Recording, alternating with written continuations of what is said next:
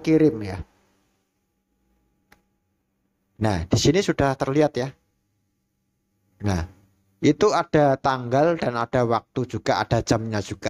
Copy chat WhatsApp dengan tanggal dan juga ada waktunya ya. Jadi untuk sahabatku akan saya kasih tahu caranya sangat mudah sekali ya. Mungkin kita ingin membuktikan kepada seseorang ataupun bisa kita kirim ke orang tersebut. Contoh seperti ini.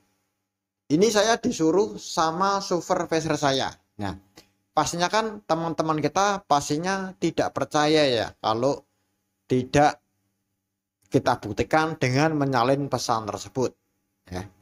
Jadi untuk kalian yang mencari cara kopi ya, kopi pesan WhatsApp yang ada tanggalnya dan juga waktunya juga bisa ya. Jadi caranya sangat mudah akan saya kasih tahu untuk sahabatku bagi yang membutuhkannya untuk bisa untuk membuat tugas ataupun bisa untuk membuat bukti ya. Jadi sangat mudah sekali untuk sahabatku bagi yang belum tahu akan saya kasih tahu solusinya dan caranya ya. Langsung saja sahabatku kita keluar dulu kita langsung mulai buka di WhatsApp di layar utama. Tinggal kita klik saja WhatsApp tersebut. Setelah di sini Kalian tinggal klik saja, tekan saja pesan tersebut. Terus bawahnya juga kita tekan. Atau kita tekan semua saja. Nah, setelah kalian tekan semua seperti ini, jadi ada dua opsi ya untuk kita bisa menyalinnya.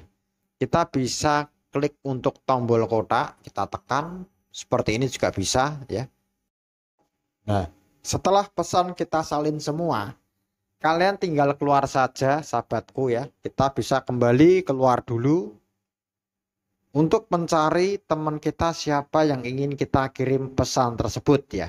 Kalian bisa pilih saja untuk kotak pesan di bawah.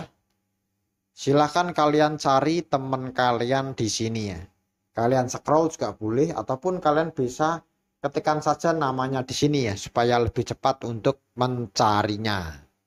Setelah ketemu, setelah kalian cari untuk cara berikutnya, misalkan teman ini ya. ya.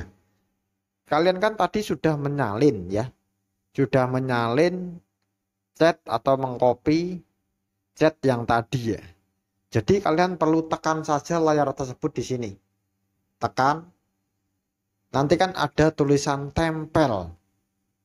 Terus yang kalian lakukan yaitu kalian tekan saja untuk yang tulisannya tempel. Kita tekan saja.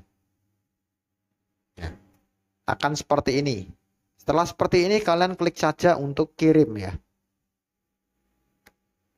Nah, di sini sudah terlihat ya. Nah, itu ada tanggal dan ada waktu juga, ada jamnya juga ya. Nah, jadi teman kita pastinya percaya ya. Misalkan kalian membutuhkan cara ini sebenarnya sangat mudah sekali ya bagi kalian yang belum tahu. Semoga membantu. Cukup sekian dan terima kasih.